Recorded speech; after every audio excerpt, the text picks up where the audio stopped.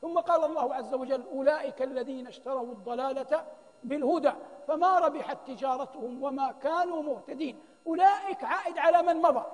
ممن ذكرهم الله عز وجل من صفاتهم هم المنافقون. أولئك الذين اشتروا الضلالة بالهدى فما ربحت تجارتهم وما كانوا مهتدين. هم يعيشون في مجتمع مؤمن. فهذا معنى أنهم يملكون شيئا من الهدى لكنهم فرطوا فيه ورضوا الضلالة بدلا منه. والتجارة في اللغة في اللغة في التفصيل العلم المالي ستأتي إن شاء الله في آية الدين. لكن في اللغة هي التصرف برأس المال بغية الربح. ماذا؟ التصرف برأس المال بغية الربح. الربح يسمى تجارة.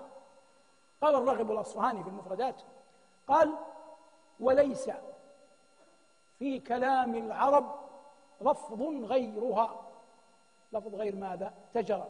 عندما أتى عند كلمة تجرى قال وليس في كلام العرب مفردة أو لفظ غيرها.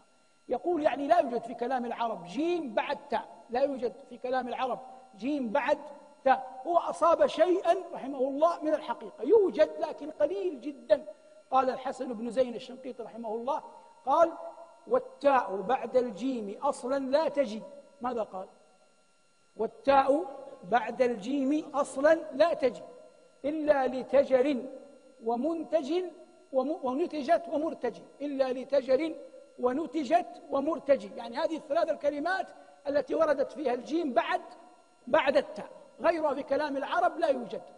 كلمة تجاه ليس أصلها تجاه أصلها وجاه. التاء منقلبة عن واو واضح؟ والمقصود أن ندرة اجتماع الجيم بعد التاء في لغة في لغة العرب. الله يقول هنا هذا مبحث لغوي أولئك الذين اشتروا الضلالة بالهدى فما ربحت تجارتهم وما كانوا مهتدين. فحكم الله عز وجل عليهم بالضلالة. هذا والعياذ بالله من الخسران المبين أن يفرط الإنسان في الهدى ويقبل على على الضلال